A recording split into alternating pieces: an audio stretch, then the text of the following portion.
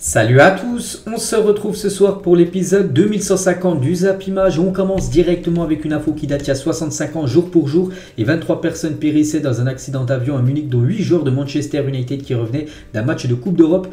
Euh, c'est un match de Ligue des Champions en gros. Donc parmi les survivants, Sir Matt Busby qui rebâtira l'équipe des Red Devils remportant la Ligue des Champions 1968. Donc voilà, ce 6 février 1958, hein, c'est une date qui restera gravée du côté de Manchester euh, United.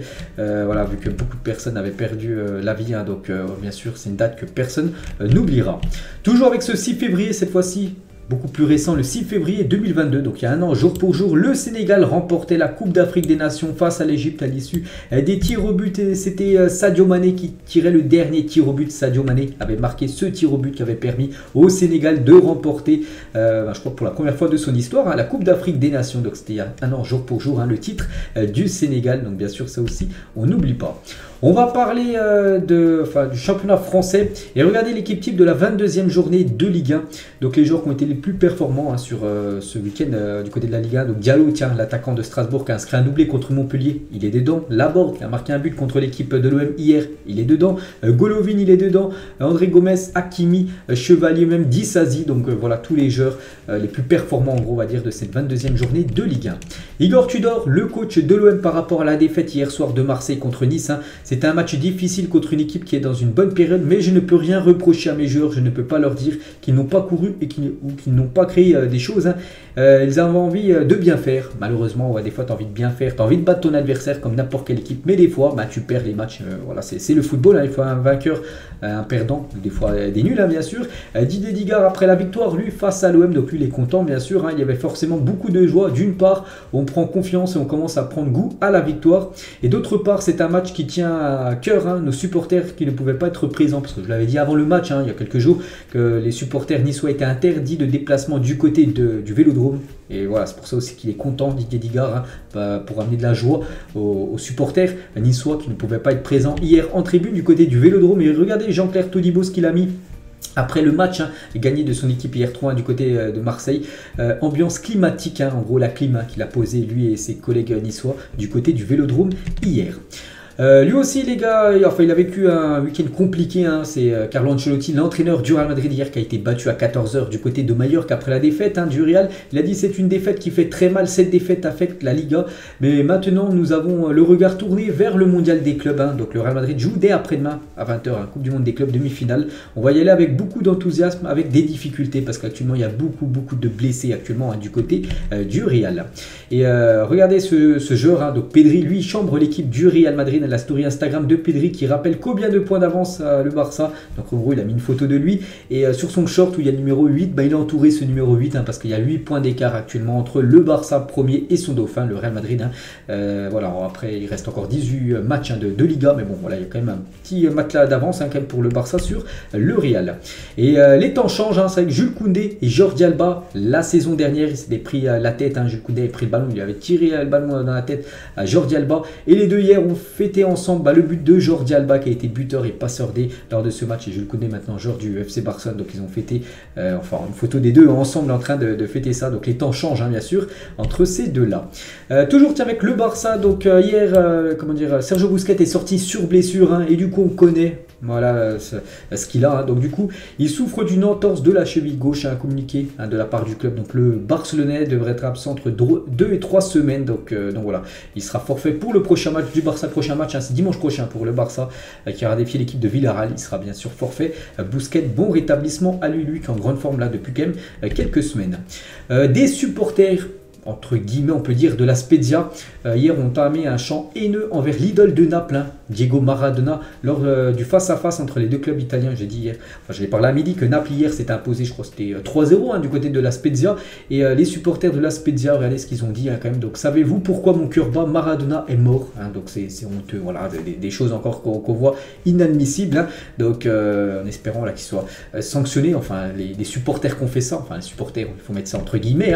Et aussi, euh, Du côté de, l'Espagne hier, hein, il y a eu quelques, bah, quelques problèmes qu'on n'aime pas voir. Donc la Liga a publié un communiqué dans lequel elle indique euh, que tout met en œuvre hein, pour enquêter sur les insultes racistes une nouvelle fois exprimées à l'encontre de Vini Junior du côté de Mallorca. Une adresse mail a même été mise en place pour aider à l'identification des responsables parce que le Brésilien a été traité de, de singe par des supporters en tribune hier. Et voilà, la Liga ouvre une enquête. Ils vont essayer de retrouver euh, ces personnes. Hein, maintenant, ça peut être trouvé avec toutes les caméras qu'il y a bien sûr dans les stades, tout ça, les systèmes de sécurité, en espérant que ces personnes soient trouvées et qu'elles soient tout simplement bannies euh, de stade.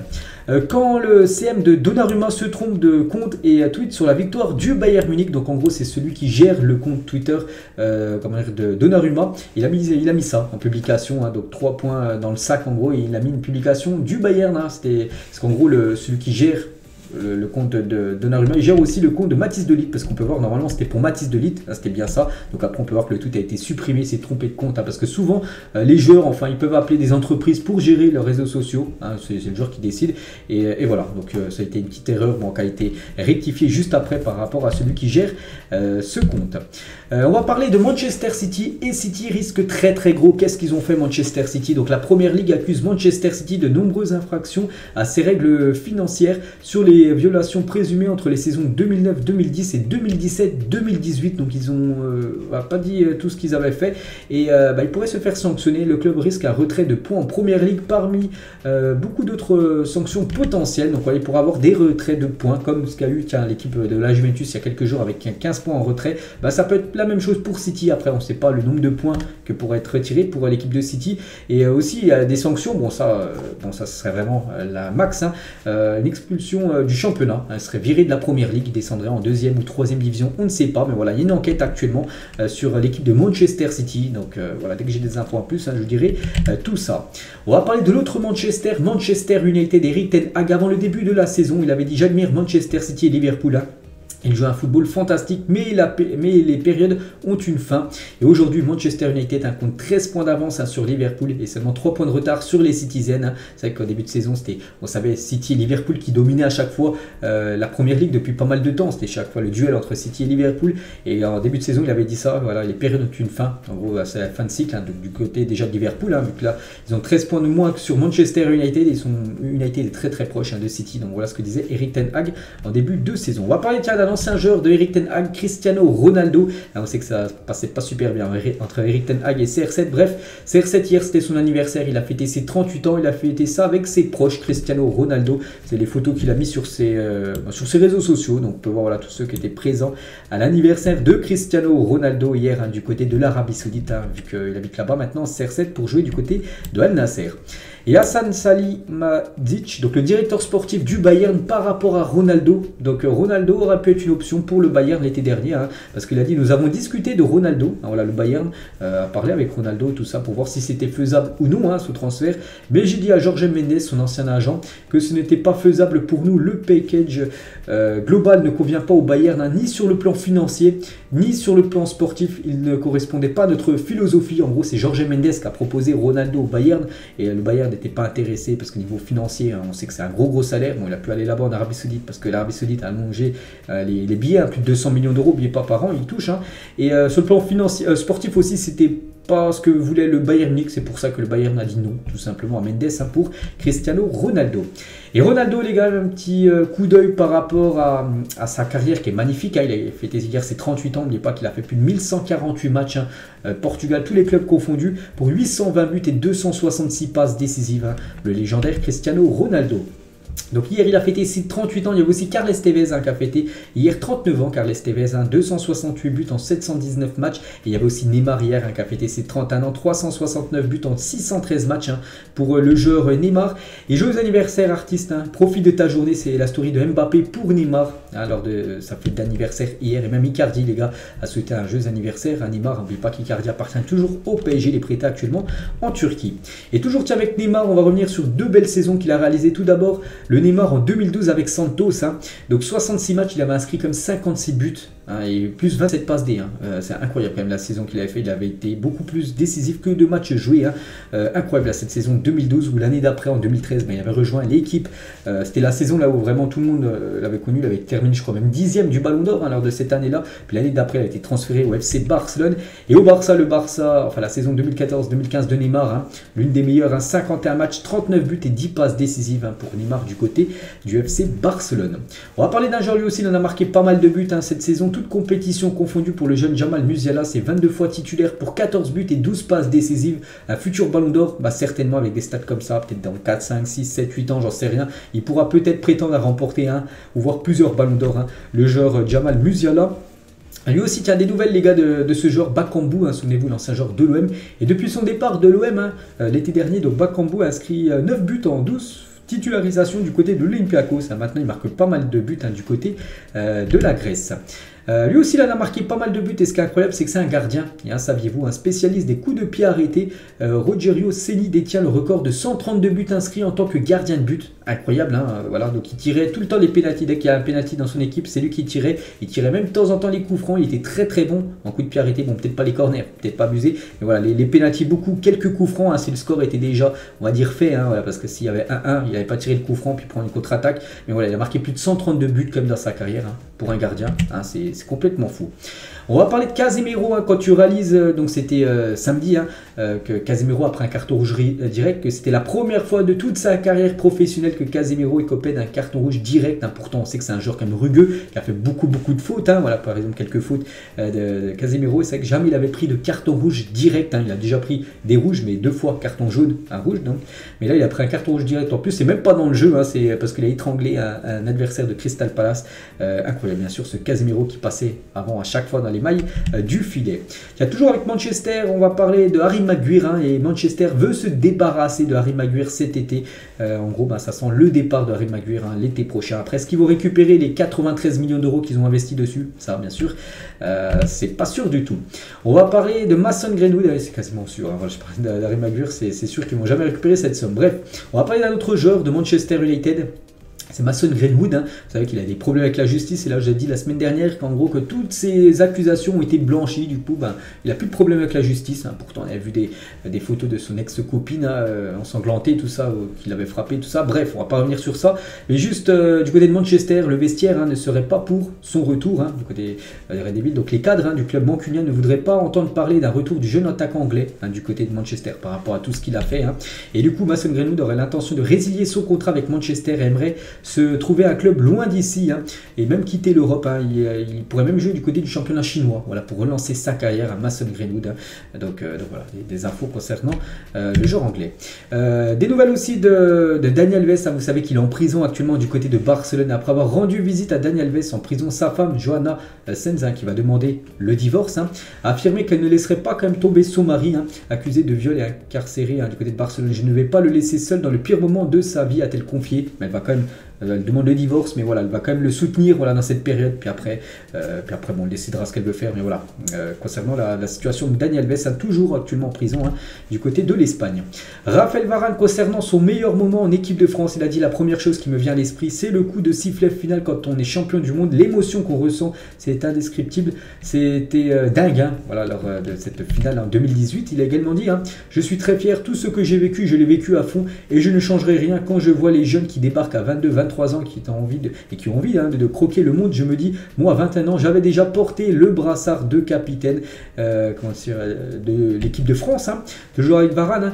J'ai peu de temps pour voir mes proches. Quand je les vois, je suis fatigué car c'est entre deux matchs, je suis là. Mais je ne suis pas vraiment là car je pense au football. Je vis football euh, et on déconnecte jamais. Je sens que je suis en train d'étouffer. C'est pour ça qu'à 29 ans, il a préféré dire stop du côté bah, de l'équipe de France. En gros, il jouait seulement maintenant avec son club. Et Lizarazu, hein, sur Téléfoot hier, hein, je ne sais pas si vous avez regardé, il a dit autant Lloris a 36 ans, mais Varane a 29 ans, c'est hyper jeune hein, dans sa tête, dans son corps, je ne sais pas ce qu'il s'est passé. il va énormément manquer, c'était un cadre de la défense, bien sûr, ça on le sait tous. Mais bon, comme il l'a dit, voilà, en gros, bah, ses raisons, c'est tout simplement que voilà, il étouffait trop, il jouait trop, tous les trois jours il avait un match, euh, beaucoup de déplacements, il voyait plus sa famille, c'est pour ça qu'il a pris cette décision. On peut comprendre, même si on est déçu de sa décision, parce que voilà, c'était un cadre des Bleus, c'est un gros gros manque pour l'équipe de France.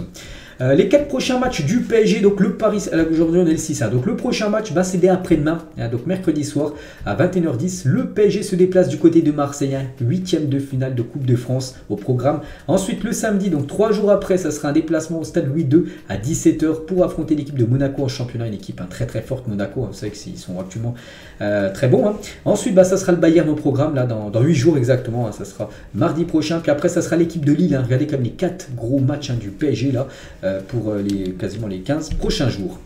Toujours avec le PSG, Marquinhos sont proches d'aboutir à, un accord pour une prolongation jusqu'en 2027. Voilà, Marquinhos devrait prolonger l'aventure hein, du côté du PSG, c'est quasiment fait. Donc Marquinhos proche d'être prolongé. Discussion en cours pour Messi et Kimpembe, le PSG s'active pour ses cadres. Hein. Et concernant Messi, Luis Campos, hein, tiens sur Téléfoot toujours, hier sur la prolongation de, Messi, il a dit en ce moment on est en discussion avec le clan Messi. J'aimerais l'avoir dans ce projet. Je ne peux pas le cacher, je serais ravi s'il continue avec nous. On discute en ce moment pour continuer d'avoir Léo Messi avec nous. Bon, après maintenant, ça sera Messi. Le PSG va lui proposer quelque chose. Après, ça sera au joueur, un joueur argentin de décider s'il veut prolonger ou non l'aventure parisienne. Et toujours avec le PSG, on sait que c'est un club hein, qui paye très très bien ses joueurs. Et c'est vrai que si on regarde les clubs ayant les plus grosses masses salariales au monde, hein, bah, le PSG, c'est plus de 728 millions d'euros qui payent en salaire, hein, dont les trois gros salaires Mbappé, Messi, Neymar, je pense qu'ils doivent prendre quasiment 50% Rien qu'à ces trois-là, même voire plus, hein, même 60% de tous les salaires euh, du club. Hein. Donc euh, voilà, Real Madrid aussi paye très bien ses joueurs, 519 hein, millions d'euros par an qui payent en salaire aux joueurs. Et le Barça aussi, on peut voir bah, les clubs anglais. Qu'il n'y a pas les clubs anglais dans le top 3, mais après voilà, Manchester United, Liverpool, City et Chelsea euh, qui, suivent ce classement. On va parler d'un joueur français, c'est Randall et Francfort a fixé le prix de 100 millions d'euros pour l'ancien Nantais, le Bayern Munich, l'AC Milan et Manchester United sont intéressés par le français qui sera en fin contrat en juin 2027 hein, du côté de Francfort. C'est qu'il a encore pas mal d'années de contrat, lui qui avait rejoint euh, le club libre hein, quand même de la part de Nantes hein, l'été dernier. Et, voilà, euh, donc il a fait une grosse Coupe du Monde, enfin il a été bon euh, quand il a joué. Et, maintenant son prix monte en flèche, surtout qu'il est très très performant actuellement en Bundesliga.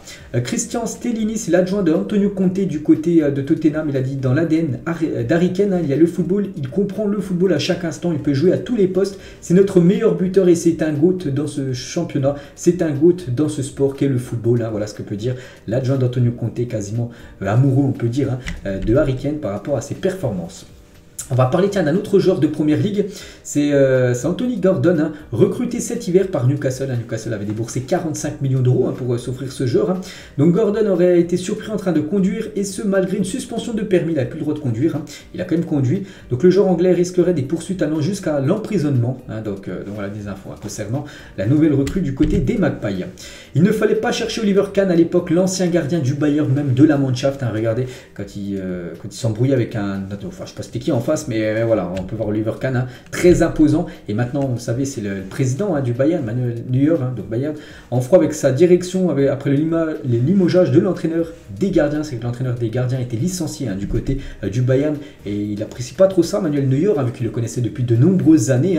Et euh, directeur sportif du Bayern, Hassan Salihamidzic, il a dit la déception de Manuel Neuer concernant le renvoi de Tony Tapalovic, donc l'ex-entraîneur des gardiens du Bayern, nous touche aussi parce que Manuel a mis ses intérêts personnels au-dessus des intérêts du club. Hein.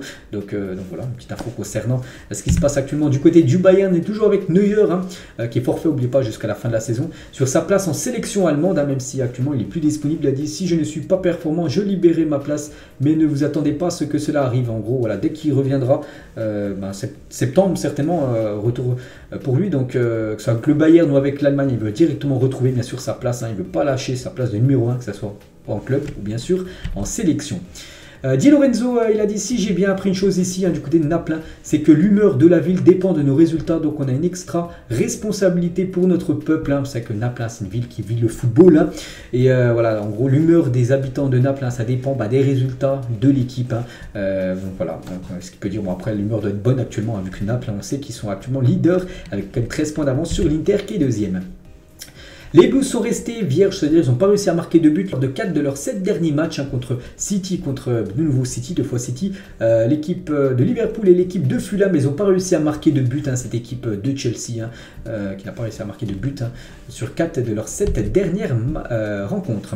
Les joueurs les plus capés de l'histoire du Real Madrid, Benzema est maintenant au même niveau que Paco Gento, bon il n'a pas joué Karim hier, et le prochain match qu'il jouera, eh ben, il dépassera Gento, il sera proche après de rejoindre Hiro, on peut voir après les joueurs qu'on joue le plus, hein, comme Casillas 510, Sergio Ramos 469 et le record c'est Raoul à 550 matchs hein, du côté du Real Madrid.